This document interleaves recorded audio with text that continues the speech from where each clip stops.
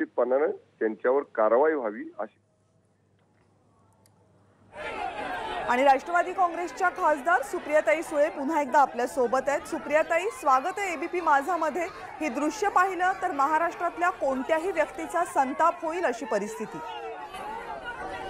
अर्थातच म्हणजे मला धक्का बसलाय की महाराष्ट्र सरकार करतंय तरी काय?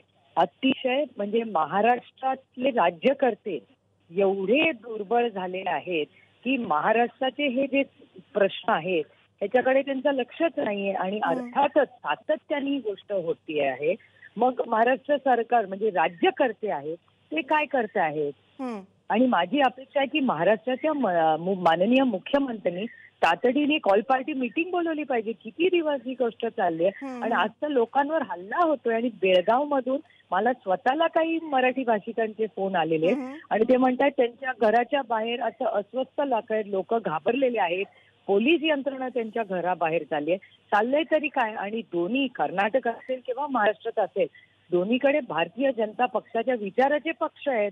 केंद्र सरकारने याच्यात लक्ष घालायला नको तातडीने इतके दिवस झालेत कर्नाटकचे मुख्यमंत्री रोज काही ना काहीतरी वक्तव्य करतायत. वाद आता चिघळत चाललेल्या अशी परिस्थिती निर्माण झाली तरीही महाराष्ट्र सरकारनं जी भूमिका घेतली आहे ती भूमिका पुरेशी आहे असं तुम्हाला वाटतंय? निषेध नोंदवून हे सगळं थांबेल?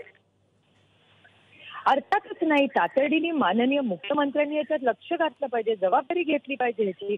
हे जे बोटछेपी धोरण सातत्याने हे केंद्राच्या समोर हे महाराष्ट्राचे राज्यकर्ते घेत आहेत याच्यात सातत्याने महाराष्ट्राचं नुकसान होत आहे प्रोजेक्ट बाहेर गेले एक मोठं नुकसान झालं.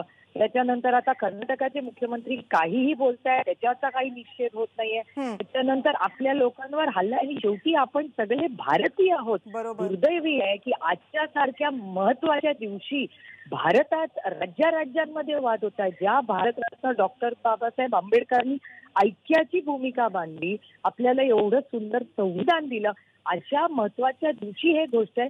हे फक्त महाराष्ट्र आणि कर्नाटकांना देशाला लाजवणारी गोष्ट आहे. आणि हा एक आपल्या सगळ्यांसाठी भारतासाठी एक काळा दिवस आहे.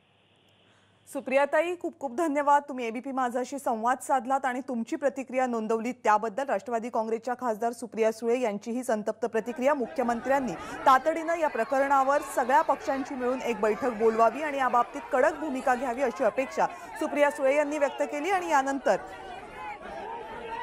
आमदार राजेंद्र येड्रावकर आत्ता आपल्या